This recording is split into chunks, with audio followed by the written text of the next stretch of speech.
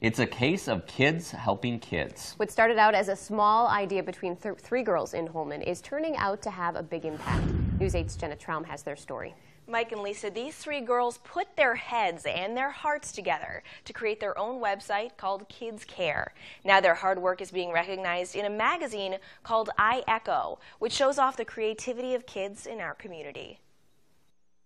When Sasha Gilbertson first told her teacher Laura Sandness what she and her friends wanted to do for their class project, Sandness was stunned. What I thought originally was, wow, that's a great project, and I have no idea how we're going to do this. Sasha and her friends Devin Reeves and Bryn Danes created a website called Kids Care. It's because we're kids and we um, care for other kids. Kids who are facing very grown up challenges. Kids Care is a collaboration with the Children's Miracle Network. People can donate toys or money to buy toys for kids who are hospitalized with serious illnesses. It probably means the world to those kids to have to just the feeling that someone cares. The toys will go to play areas like this one at Gundersen Lutheran. It might look like it's well stocked with toys, but child life specialist Jenny Noel says there's a huge need. That's because the toys here are sanitized with heavy duty cleaners between each patient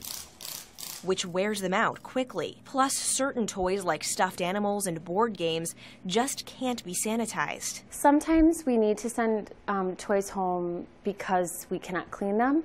But we also like to send toys home with kids because it's a nice incentive when they have difficult test or procedures done or they have a hospital stay. And Sasha says it's inspiring to know that what started out as just an elementary school project can have a real impact on other kids' lives. You can never really believe that you're going to make a huge change, but I guess this has really made me realize that you don't have to be older to have to be able to make a difference. Tomorrow morning, those three girls will get their first look at the issue of iEcho magazine that's going to feature their project. A representative from the magazine is going to visit Evergreen Elementary to have the girls open the first box of this month's issue. Very well-spoken kids, and congratulations to them on that very neat project. And if you would like to donate toys or money to the girls' cause, you can visit their website at evkidscare.web weebly.com. You can find a wish list of toys and other items from Children's Miracle Network on that site.